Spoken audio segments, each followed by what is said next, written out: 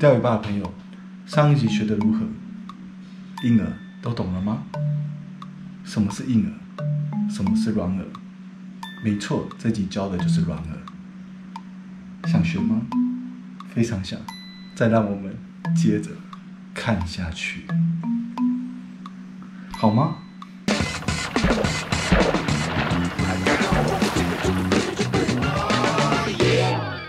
再来就是你们发现就是卵虫，卵虫的话，它的样式非常非常的多，但是我们大致上归类为三种，一种就是鱼形，不管它的尾巴是 T 尾，就是那种扁的，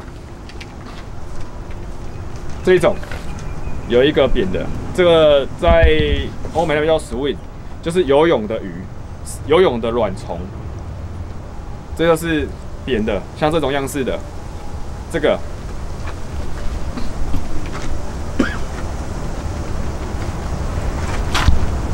或是像这种，这种老鼠尾尖的，尖的，这个我们都可以统称它叫做鱼形，因为它的动作就像一只鱼一样。那它尖的跟那种尾巴是这种扁的，操作方式来说的话，扁的就是你一直平收它就会摆动嘛，那尖的就是我们用抽动的方式让它落水之后像一只鱼，要死不活的这样子抽动。那这两种样式来说的话，其实在我们选择使用上面的环境对应。很多环境都可以使用，就看你今天觉得哪一种动作、哪一种方式鱼会咬，取决于我们自己本身对今天环境的一个感觉，然后去选这个饵，好选这个饵。那这我们都统称叫做鱼形的，鱼形的。那像这种甲壳鲈这种扁的，这种扁的，这我们可以称它为鱼形，称它为鱼形。好，这是鱼形。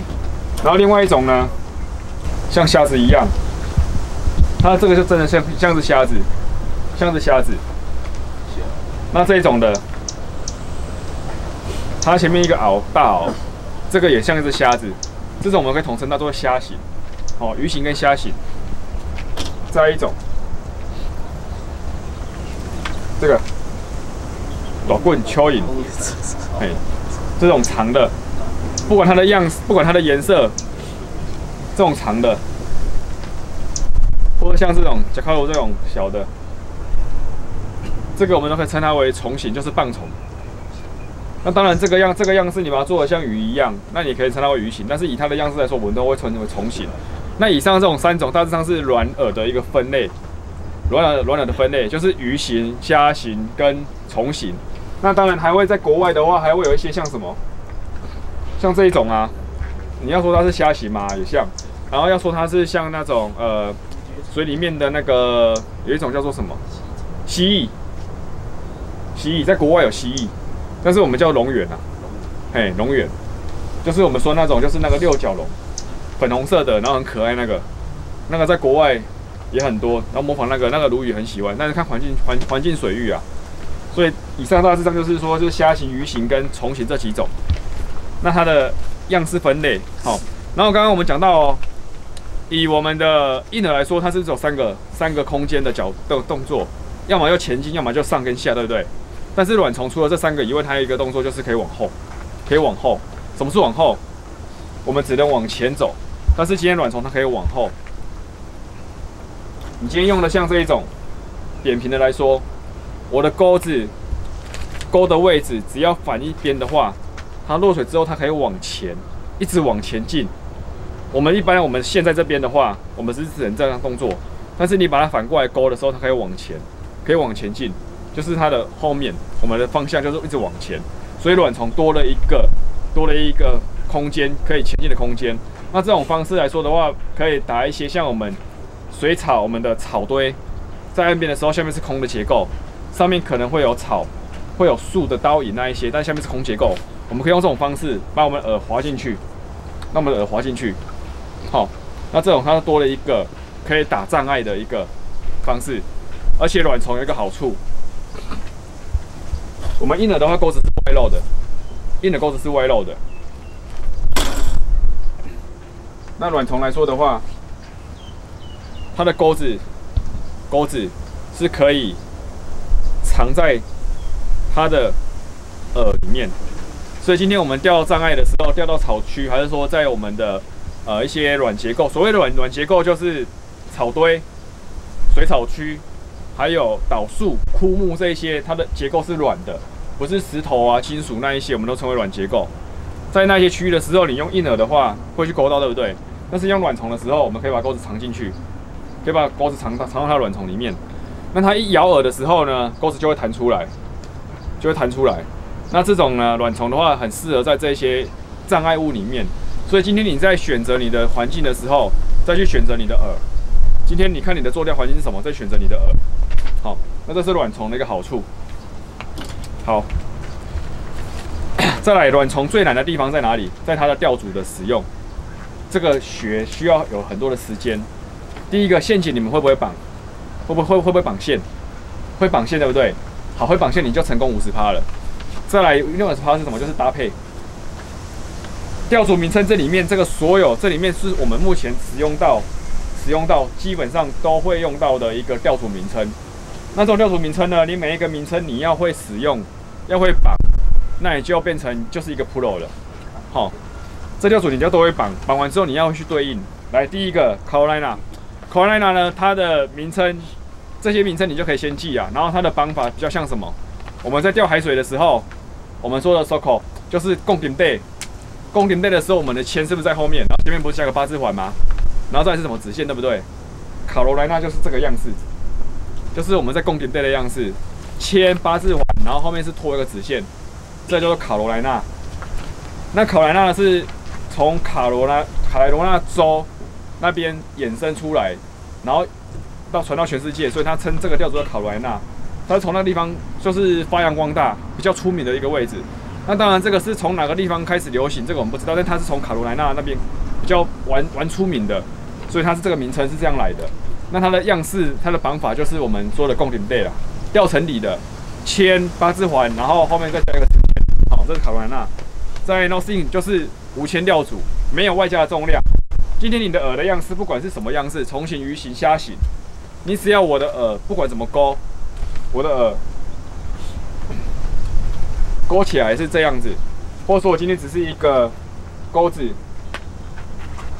我只是一个钩子，我只是一个钩子勾过我的虫，那我们都可以称它为东西，就是我的钩子只有钩子，然后跟我的饵。那我的钩子跟饵都没有外加重量，就是没有插切，或者说在我的线上面没有任何的附加重量，或者说我的钩子上面也没有额外的重量，可能就像会多一颗比较重的 jig 那一种。那我们直接勾上去，我们都可以统称为无铅钓组。好，然后另一个叫做无铅，无铅就是直接钩子勾过去，不管你用的钩子是曲柄钩还是直柄钩，而不是像这种。前面你有你又多了一个这个头，这个叫附加重量，这就不一样了。但是我今天我用的是钩子是直柄钩，但是没有这多了额外的重量，那我们都可以称为老师就是无铅钓组，都会称为无铅。好，再来倒钓，倒钓的话就是，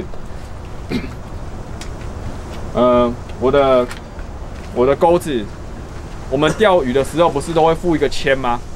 附一个铅，那我的铅在我的饵的下方，我的铅在我饵的下方。那我们都称为倒钓，都称为倒钓。那倒钓的话，你们应该是很多人不会绑啊，对不对？有些都不会绑。那你今天等一下的话，我们再看一下怎么绑，或者说你可以网络上搜寻一下，或者说我的我的影片里面有教学倒钓的绑法。那我们今天先来认识一下钓组的名词解释。好，那倒钓的话，相反的就是我的一般来说，我们我们在钓鱼的时候，不管今天你钓的什么钓法，我们牵完之后再是子线，对不对？但是我倒钓就是反过来，我的铅重量重量附挂在我的饵的下方，那我们称为倒钓，好，OK。然后在德州，德州钓组的话，一般你们玩路亚的话，最常听到就是德州钓组。那德州钓组是什么呢？就是。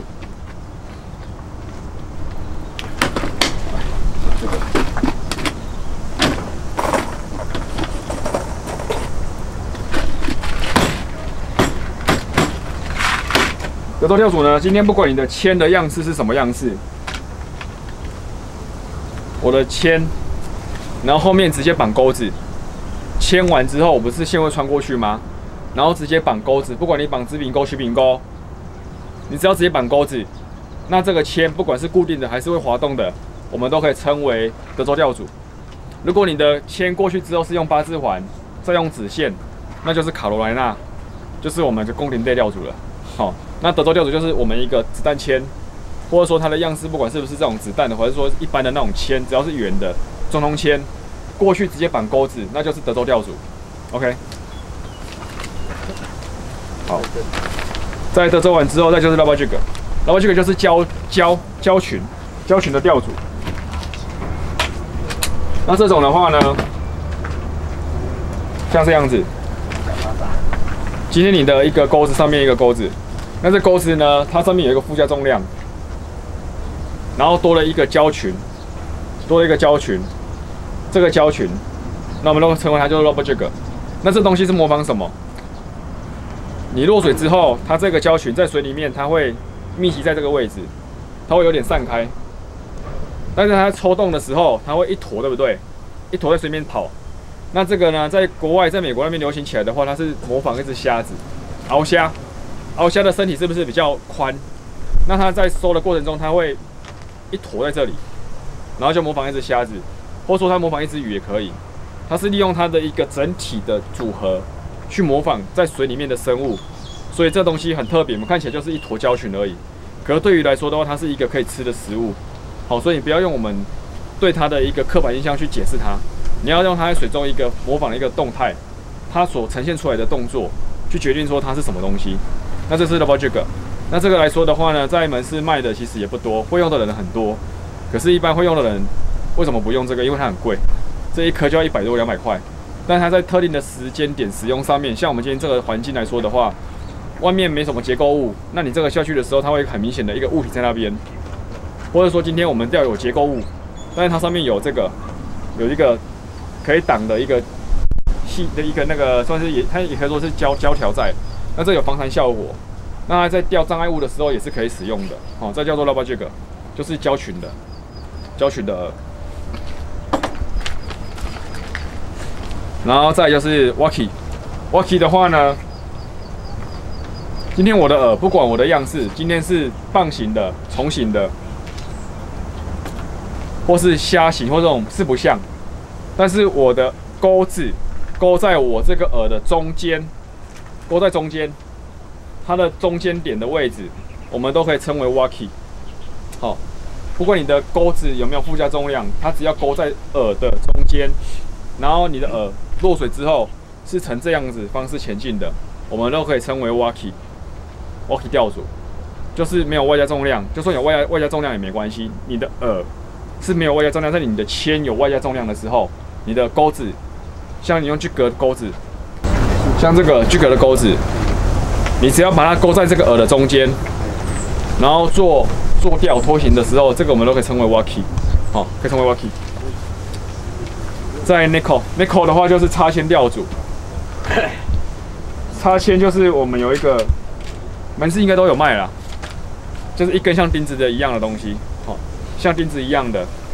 那这个的话呢，今天你的饵的也是不管样式哦，虾形、鱼形或是棒虫都可以。你把它插在一端，插进去插在一端，那些你的钩子挂在中间，像 Wacky 一样钩中间。那落水之后它是很直立式的。只要有插线，我们都可以称为 nickel，就不是 wacky 咯。有插线就称为 nickel，就不是 wacky 的。好，再就是 G 黑，就是鸡头钩。G 黑就是你前面一个钩子，然后前面有外加重量。那这重量不管多大，可能零点四克也好，或是二十克、四十克、五十克都好，那你就直接直接勾过我们的饵。那这个都可以叫 jig，就是我们所谓的鸡头钩。哦，G 个 G 个叫 ZIG 嘛，G 黑。那我们直接把它翻翻，有的就是直接把它翻成中文解释叫鸡头钩啊。而且那解释来说的话，只要你你懂就好了，你懂他在讲什么，就长这个样子。OK，好，再就是 jig。jig 来说的话呢，这个比较特别一点。这种钓组的话呢，我们是在卖的话，只有那个 decoy 会有。那它就是钩子，钩子，然后上面有一个环，路亚环，等下穿去给你们看，路亚环，然后下面再多了一个重量。它是把那个铅的位置放在它的钩子的下方，然后后面再用一个八字环，或是没有八字环都可以，直接绑在上面，那变成它是一个一体的，一个一体的。那这我们可以称为 g 港。那这钓组来说的话，是最近这几年才开始流行，以前没有。然后再就是菲里，这个这个就是我们所谓的刀片。这个来说的话，你们应该是看不懂这是什么东西，当下看不知道，可是你看到吊组的时候，你就知道这个是什么了。这个门市应该有很多都在卖了，就是你的前面是一个这个，然后是 double jig，但是前面加了一个亮片，加了一个挡片，这个就是称为我们叫刀片吊组。这个在我这是我这是我问美国人的，他们称这种钓称这这种的这种的钓组都是这个 bed jack，这个这个是刀片，因为它前面像一片刀一样。好，再就是一个 Tokyo，就是东京钓组。东京钓组只是刚刚我给你们看的那个吉卡钓组的延伸，它把下面那个铅后面扣那个铅，然后用了一个铁条增长它的一个位置，那它长得又又又又又有点像倒吊组。那我因为那个东西我今天没有带，它的话就是那一个下面那个倒吊组，它变成一个铁丝，那它是固定式，它不会软，它不是不是不是那种软的那种，不像倒吊组下面是一个线，那它可以用两颗或三颗以上的弹头铅，那敲击的时候会有声音。那这种吊组是从东从那个日本的东京那边衍生出来的，所以我们称它为东京吊组。这个我这边没有图啊，也没有那个吊组，所以你们可以上网直接打这个，搜寻一下 Google，他们就它就会很多样式出来。